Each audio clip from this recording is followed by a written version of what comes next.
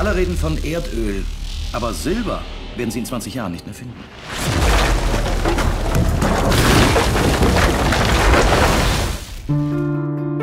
Katrin, Was machst du hier? Wir haben Silber gefunden. Und wo? Am Hoberg? Das ist nahe der alten Grenze. Da haben sie eigentlich nie richtig gesucht. Musst eben noch mal rein. Zu gefährlich. Und außerdem habe ich da gesprengt. Aber deine Roboter stört sie nicht. Komm, die Heimat ruft.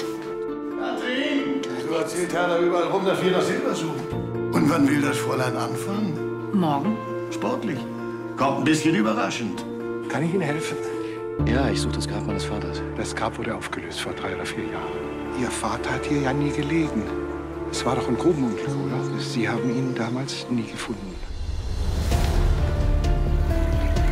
Du weißt, was wir da finden können? Mein Vater, ja, ich weiß. Warum hast du mir nicht erzählt, dass Vater da nicht liegt? Wie oft warst du denn am Grab? So, dahinter geht's dann nicht mehr weiter. Da ist alles eingestürzt.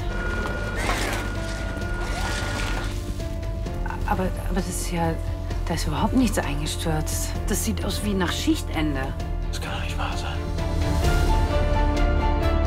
Die Zeitung hat doch sicher jemanden hingeschickt damals. Wir hatten da berichtet. OMD war der geheime Code unserer Zeitung für Stasi. Sie Zeit mitgebracht? Ja, Sie aber auch.